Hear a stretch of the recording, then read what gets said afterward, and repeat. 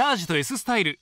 テレビと雑誌の垣根を越えてタッグを組み宮城のイケてるラーメンイケメンを食べ尽くす。その一杯を厳選するのは S スタイル編集部一のラーメンマニア高橋ありさ。ラーメンソムリエの資格も持つ彼女が今回一押しする一杯は。今回のイケメンは魚介の旨味やコクを堪能できる一杯です。このお店を語る上で外せないのが魚辺に春と書いてさわらです。そのラーメンがさわら油の塩ラーメン。これを食するのはラーメンの食べ歩きが趣味のモデル小笠原美優。研究熱心な性格でそのうまさの秘密に迫ります。お店があるのが太白区郡山。長町駅から徒歩20分ほどの住宅街という立地にあっても行列の絶えない人気店麺匠一条です。店主の遠藤さんはこの場所にあった名店麺匠源流で修行を積んだ後独立。名店の味を継承しながらも麺匠一条ならではの味を作り出しています。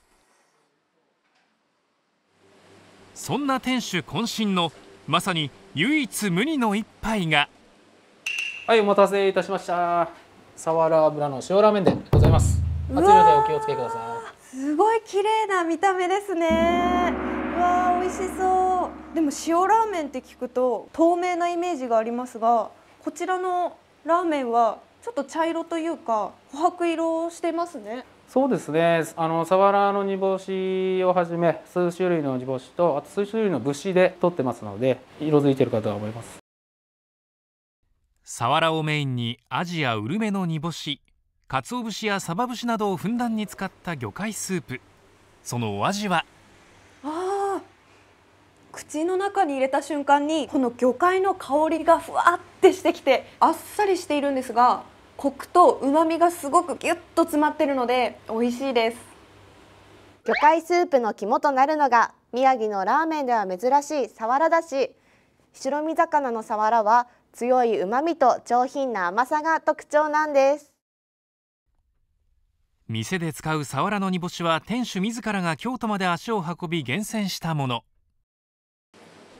さらに魚介スープに合わせる塩だれにはゲソや昆布しいたけなどを使うことであっさりとしたスープながらも厚みやキレのある味わいに仕上げています。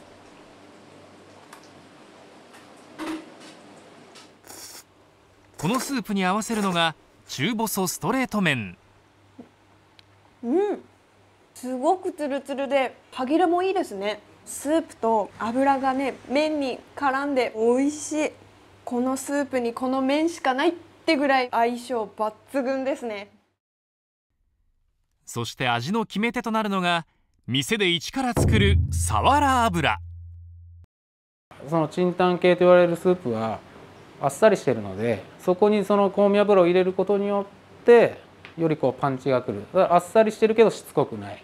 そこを目指しましたね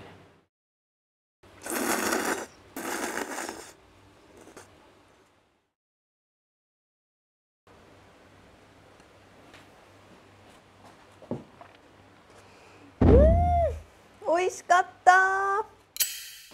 今回のイケてるラーメンイケメンは麺匠一条のサワラ油の塩ラーメンです。しょっぱすぎない甘すぎない脂っこすぎないあっさりしすぎない。毎日でも食べられるような飽きのこないような味に仕上がっていくかなと思います